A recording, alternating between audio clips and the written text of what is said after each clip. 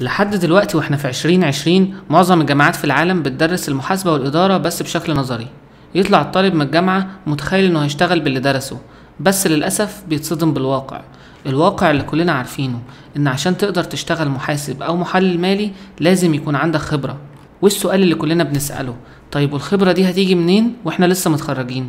في 2009 بعد ما اتخرجت قعدت فترة كبيرة بدور على شغل لحد ما بدأت ال career بتاعي كمحاسب في شركة صغيرة. بسجل debit و credit وبحاول أتعلم. وكان الموضوع صعب بسبب الفجوة بين اللي اتعلمته في الجامعة واللي مطلوب مني أطبقه. لحد ما دخلت على الإنترنت وقعدت أتعلم الشغل العملي وآخد أمثلة.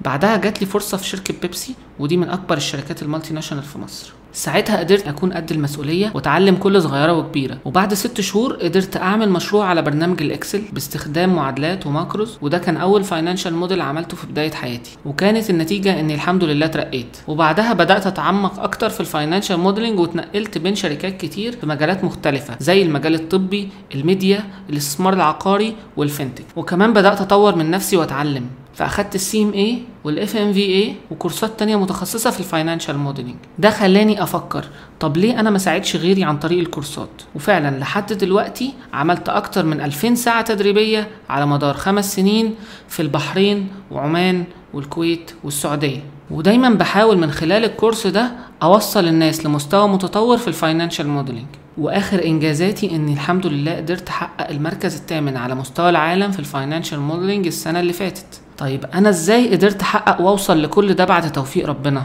أقول لكم كلمة السر التطبيق هو الأساس. في الكورس ده أنا جمعت فيه كل خبراتي عن إزاي تكون محاسب ومحلل مالي قوي في شغلك ومجمع كل التفاصيل وعندك إجابة لكل سؤال خاص بشغلك وكمان يكون عندك نظرة على ال business من فوق عشان تقدر تبهر مديرك بتقارير واضحة وبسيطة حاجة كده تكون interactive سواء كانت tables أو charts وغيرها من أسرار ال Excel اللي هنعرفها في الفيديوهات الجاية إن شاء الله. شكرا ليكم وإلى اللقاء.